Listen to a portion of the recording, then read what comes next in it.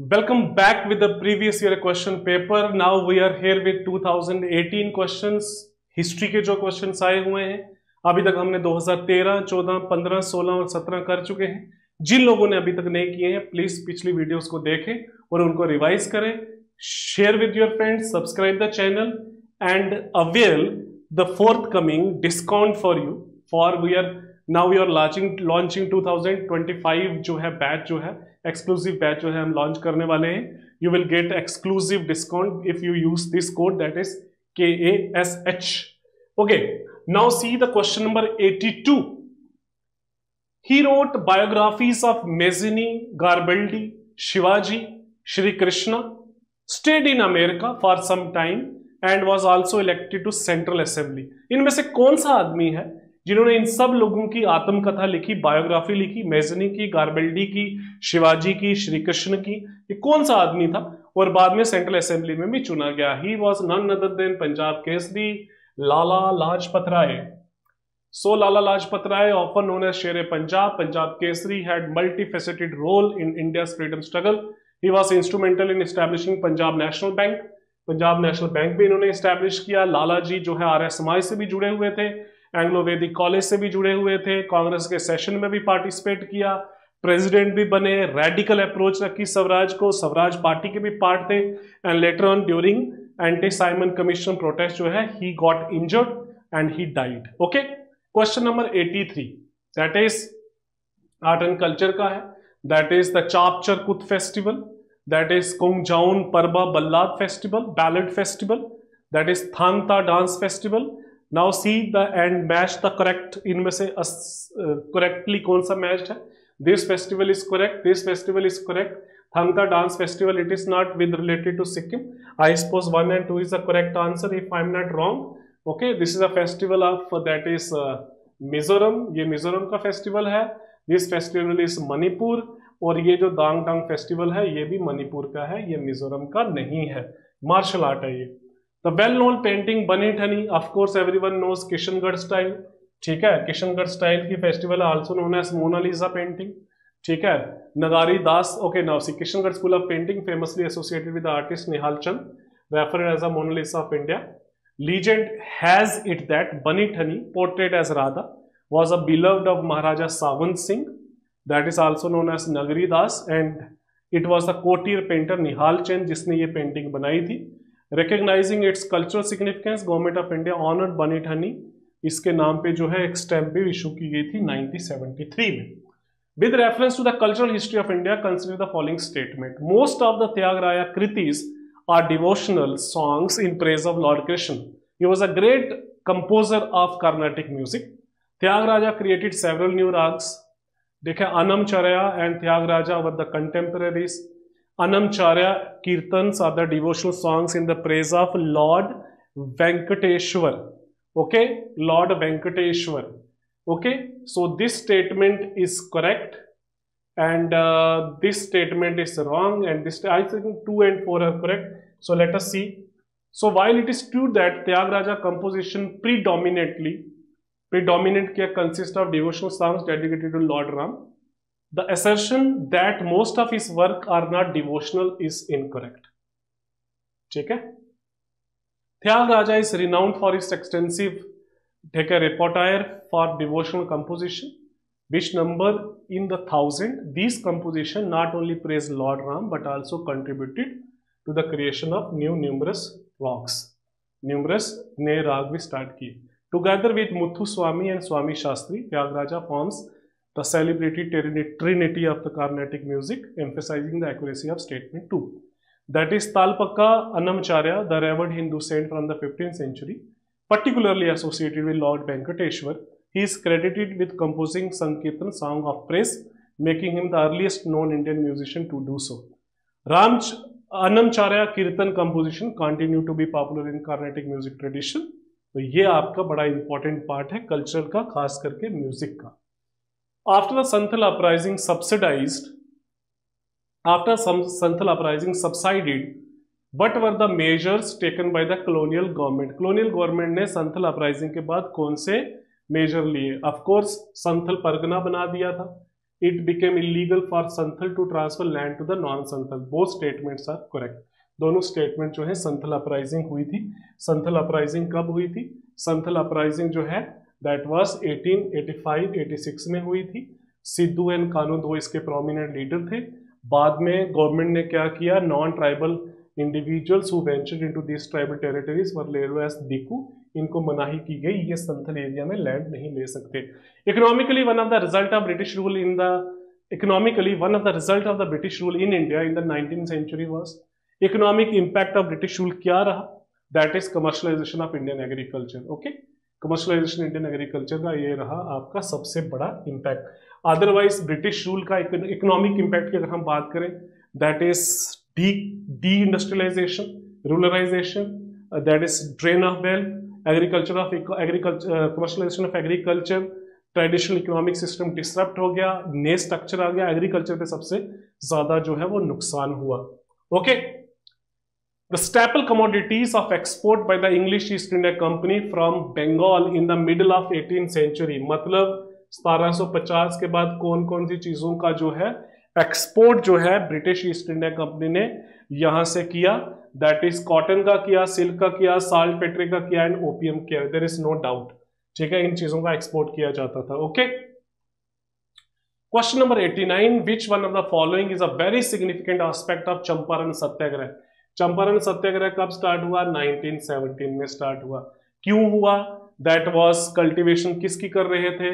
चंपारण सत्याग्रह में इंडिगो की कल्टिवेशन ज़बरदस्ती करवा रहे थे। तीन काथिया सिस्टम जो है it was very much prominent okay so तो यहाँ पे क्या हुआ? What was the most important it was the joining of peasant unrest to the Indian national movement Indian national movement का पार्ट बन गया और गांधी जो है he become he Gandhi ji की सबसे पहली जो है एसोसिएशन चंपारण में ही थी।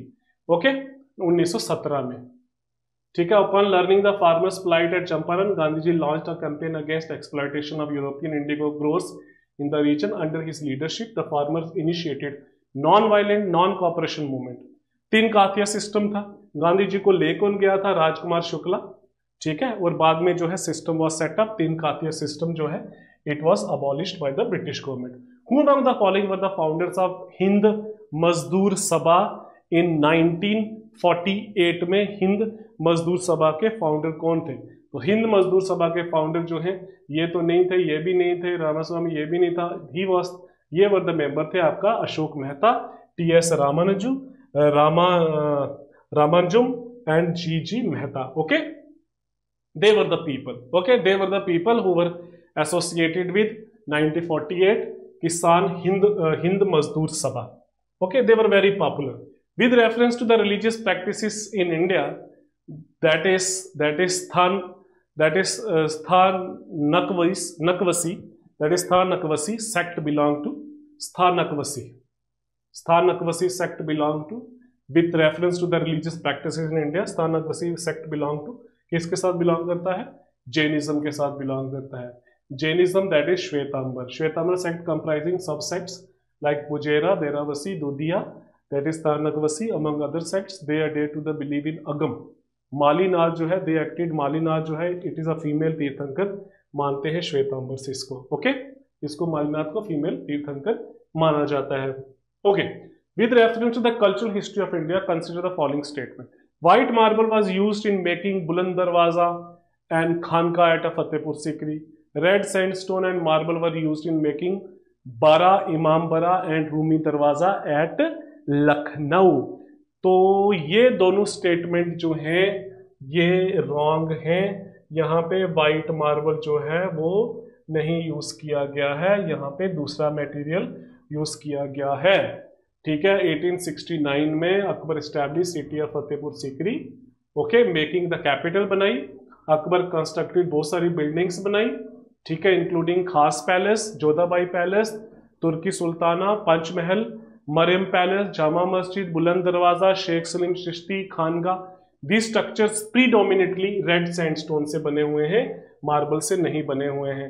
Buland Darwaza the gate of victory erected in gateway of victory gate gate of victory ये गुजरात कमेंट के कंक्वेस्ट के बाद किया गया था constructed in 75 Ibadat Khana served as a platform for the religious and philosophical discussion so D is the answer D is the answer ठीक है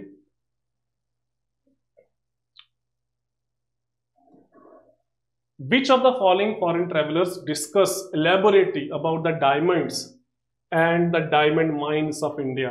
इनमें से कौन सा आदमी था जिसने डायमंड माइंस का बड़े खूबी से और बड़ा एलेबोरेटरी तरीके से जो है वो मेंशन किया he was Tavernier that is again the objective from NCERT ठीक है Tavernier French traveller who lived from 1638 to 1663 made six voyages to India. During his travels, he visited Surat, Agra, Burhanpur, Dhaka, Golconda. He was a basically क्या था? He was a jeweler by jeweler uh, jeweler by profession. Okay, तो detail diamonds की जो है वो इसी ने किया ये he also publish a book travel in India Aurangzeb के टाइम पीरियड में आया था शाहजहां के टाइम पीरियड में भी आया था with reference to Indian history who among following is a future Buddha yet to come yet to come to save the world future Buddha कौन होगा?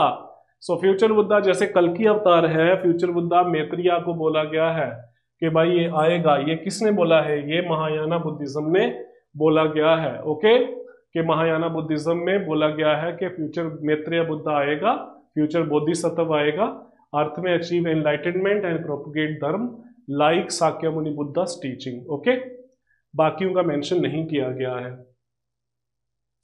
Which one of the following statement does not apply to the system of subsidiary alliance introduced by Lord Wellesley? Lord Wellesley ने जो subsidiary alliance किया था, ये कौन सी चीज़ apply नहीं होती है? To maintain a large army standing army to maintain a large standing army at the expense of other ये तो बहुत प्रोमिनेंट था।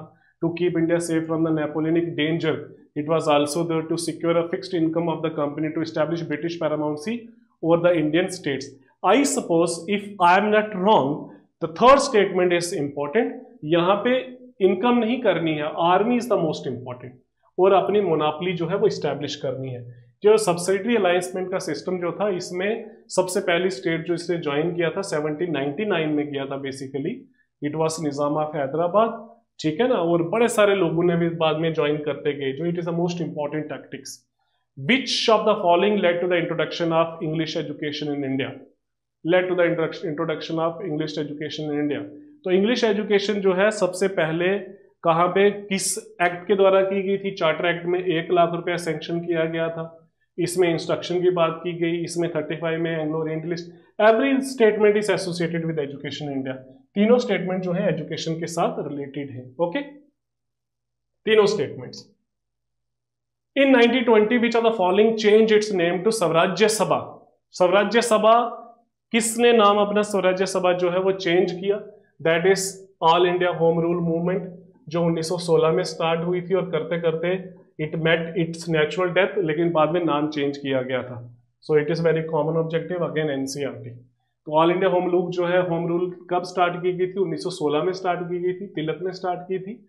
एनी बेसेंट का आइडिया था आयरलैंड से ली गई थी, दोनों ने इकट्ठे इसलिए नहीं स्टार्ट की।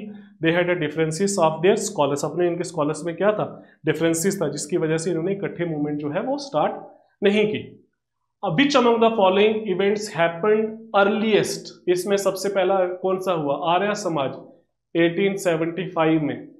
Dinabandhu Neel Mitra I don't know let us start Bankim Chandra Chatterjee, ये आई सपोज़ 80 एटीज में लिखा गया। सत्येंद्र नाथ टैगोर 1861 में जो है he became the you can say that ICS पहला आईसीएस ये एटी सिक्सटी वन में बना था। तो आई थिंक दीन बंधु मित्र ने जो है, वो पहले लिखा था। लेटर सी इसका आंसर क्या है।